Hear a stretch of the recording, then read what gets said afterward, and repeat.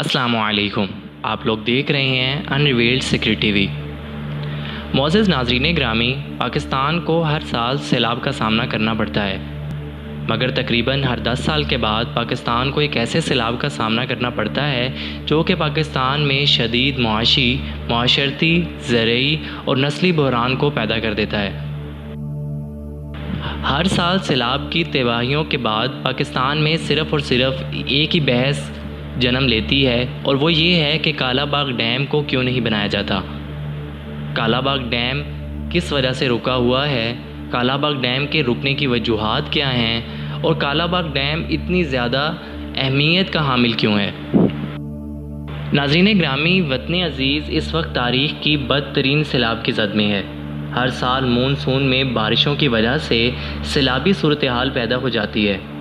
दरियाए सिंध और बारिशों के पानी को स्टोर करने के लिए कालाबाग शहर से 30 किलोमीटर दूर पीर पिहाई के मुकाम पर कालाबाग डैम का मंसूबा बनाया गया था। जहाँ बाकी डैम्स ग्लेशियर के पिघलने वाले पानी को स्टोर करते हैं, वहीं कालाबाग डैम वो वाहिद डैम बन सकता था जो बारिशों के पानी को स्टोर कर सकता था। दरियाए सवां जो बारिशों के पानी का बड़ा दरिया है, इसका पानी भी इस डैम में स्टोर करना था। जिससे ना सिर्फ़ सैलाबों से बचा जा सकता था, बल्कि स्टोर किए हुए पानी से सस्ती तरीन बिजली और ज़रूरी ज़रूरियात को पूरा किया जा सकता था। लेकिन बहुत ही ज़्यादा अफसोस के साथ ये कहना पड़ता है कि इस कौमी मनसूबे को सियासी बनाकर मुतनाज़ बना दिया गया। पंजाब के अलावा बाकी तीनों सूबों ने इस डैम की मुखालफत की। इस डैम पर काम शुरू किया गया, मगर काम शुरू होने के चंद अरसे बाद काम रोक दिया गया। डैम के लिए लाई गई करोड़ों की मशीनरी ज़ाया हो गई। वापडा इंजीनियर्स के लिए बनाई गई रिहायशी कॉलोनियाँ खंडरात में तब्दील हो गईं। बरसात में बारिशें, सैलाब बनकर तबाही मचाती हैं और सर्दियों में पानी की किल्लत से ज़रूरत पूरी नहीं हो सकती। जिसकी वजह से पाकिस्तान को शदीद ज़रूरी बहरान का भी सामना करना पड़ रहा है और जिसकी वजह से पाकिस्तान की मीशत भी बुरे तरीके से मुतासर हो रही है। क्योंकि अगर एक ज़रूरी मुल्क में पानी की ज़रूरत को पूरा ना किया जा सके तो ज़रात वैसे ही ख़त्म होना शुरू हो जाती है। ज़मीन बंजर होना शुरू हो जाती है और जैसे सैलाब आते हैं तो ज़मीन वैसे ही खंडरात का मंजर पेश करने लग जाती है।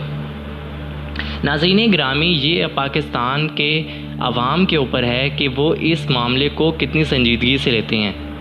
आपस की तलखियों को, आपस की सियासत को, आपस के नाराज़गियों को ख़त्म कर, अगर हम लोग तमाम मिलकर पाकिस्तान की तरक्की के लिए काम करें, पाकिस्तान के मुफाद के लिए काम किया जाए तो ऐसे मंसूबे जन्म लेंगे जो कि पाकिस्तान को आइंदा आने वाले सालों में बेहतरीन फ़ायदा पहुंचाएँगे। जैसा कि कालाबाग डैम है और इसी तरह दीगर डैम्स हैं जिनको बनाया जाना चाहिए। पाकिस्तान को करीबन करीबन 10 से ज़्यादा बड़े डैम्स की ज़रूरत है, जिसमें पाकिस्तान सैलाब से पानी का रेले आती हैं, उनको स्टोर कर सके और जिससे पाकिस्तान सस्ती तरीन बिजली बना सके।